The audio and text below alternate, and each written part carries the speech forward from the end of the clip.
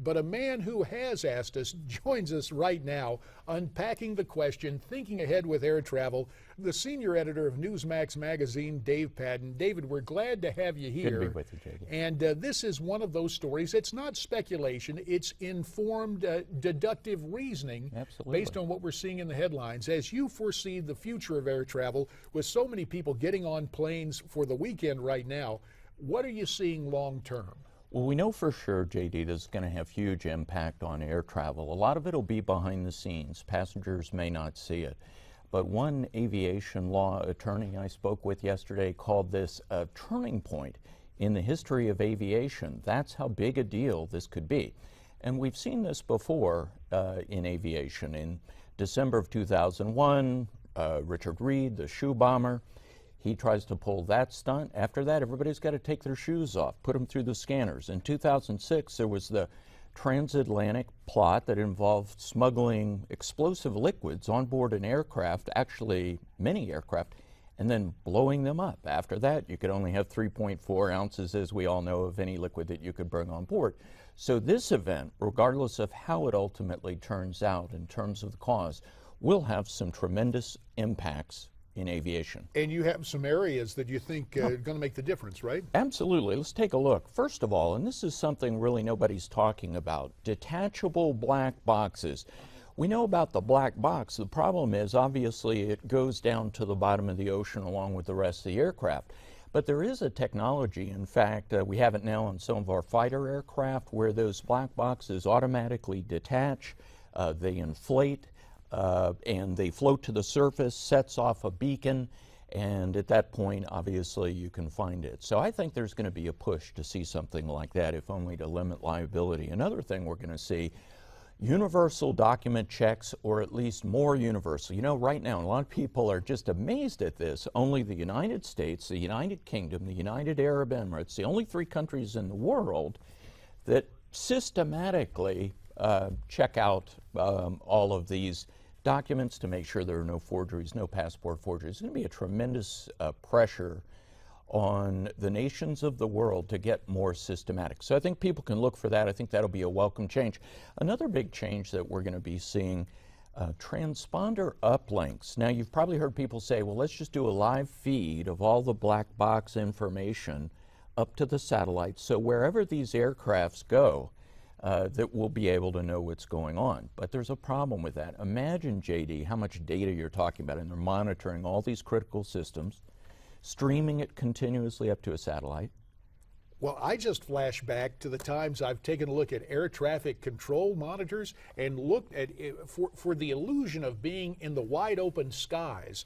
When you actually, in real time, take a look at what air traffic controllers are dealing with and exponentially all the data pouring into a central system, I just wonder. I know we've made great strides with mm. computing, but mm. that that's a whole lot of information, David. If we can't get healthcare gov uh, to stay on the air, well, of course that's Washington that? and some private vendors. Uh, uh, that saga continues. But but with here's this an alternative what idea. What do you think is going to work? What we do is instead of streaming all the black box data, we stream the transponder data.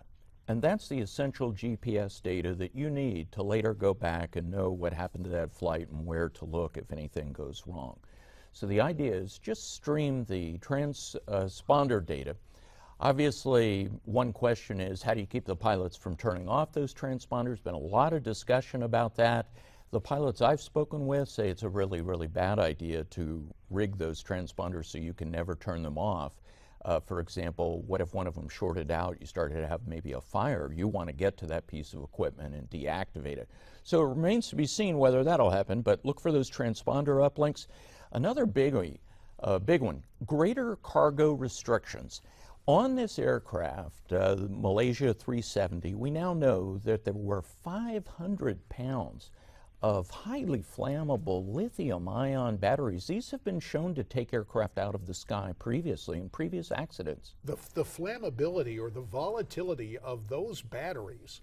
Uh, I don't know if there's a way to transport them safely, but obviously the concern now, David, has to be given the past experience and the fact that these batteries are extremely combustible.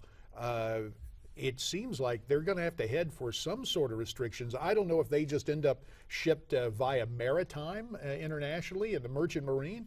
But uh, do you think they'll be taken completely off airplanes? They already have taken them off of passenger airlines in the United States. They probably need to take them not only off of all the passenger airlines, but also all the cargo airlines. They're just too dangerous. Uh, one pilot told me yesterday, he said, How many cargo pilots do we have to kill before we realize this cargo is just too dangerous? So that's uh, frightening to think that that was on that aircraft. A couple of other things, real quick. Gre greater scrutiny of pilots. We're talking about psych exams, possibly continual psych exams, repetitive. Another big, and by the way, the pilots union is not too happy with that idea, but what really has the pilots unions upset, video monitoring. What about putting an actual camera in that cockpit? You have them in buses, you have them in trains, why not in aircraft? And uh, they're not at all happy. They say that's intrusive into the work, the workplace.